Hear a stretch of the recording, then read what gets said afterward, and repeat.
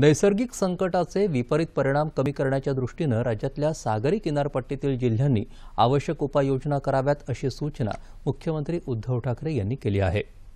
Covid काळात उभारलेल्या तात्पुरत्या आणि इतर रुग्णालयातला वीज पुरवठा सुर सुरळीत राखणं ऑक्सिजन टँकची सुरक्षितता तपासणं ऑक्सिजनचा पुरेसा साठा करून पुराचं पाणी रुग्णालयात शिरू नये यासाठी विशेष काळजी घेण्याच्या सूचनाही मुख्यमंत्र्यांनी केल्या. सिंधुदुर्ग जिल्ह्यात वेंगुर्ला इथं पन्नास खाटांच्या उपजिल्हा रुग्णालयाच्या नव्या इमारतीचं मुख्यमंत्र्यांच्या हस्ते आज दूरदृश्य प्रणालीच्या माध्यमातून लोकार्पण करण्यात आलं. गेल्या वर्षीपासून आपल्यासमोर नैसर्गिक संकटाचं एक नवं आव्हान उभं राहिलं आहे. तसंच अतिवृष्टी आणि वादळाचा तडाखा राज्याला बसला.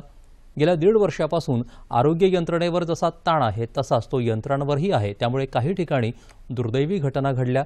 त्या टाळण्यासाठी काही उपाययोजनांसह रुग्णालयाचं अग्निशमन यंत्रणेचं लेखापरीक्षण करणं गरजेचं आहे असं मुख्यमंत्री म्हणाले. राज्यात कोरोनाच्या तिसऱ्या लाटेची शक्यता वर्तवण्यात आली आहे तसंच विषाणूच्या नवीन स्वरूपाचा शिरकाव झालेला दिसून येत आहे. त्यामुळे नागरिकांनी कोविड प्रतिबंधक उपाययोजनांचं कटाक्षानं पालन करावं असं आवाहन राज्यातल्या जनतेला मुख्यमंत्र्यांनी केलं. दूरदृश्य प्रणालीच्या माध्यमातून झालेल्या या लोकार्पण कार्यक्रमात आरोग्यमंत्री राजेश टोपे सिंधुदुर्ग जिल्ह्याचे पालकमंत्री उदय सामंत खासदार विनायक राऊत आमदार वैभव नाईक आमदार दीपक केसरकर यांच्यासह स्थानिक लोकप्रतिनिधी आणि वरिष्ठ अधिकारी उपस्थित होते.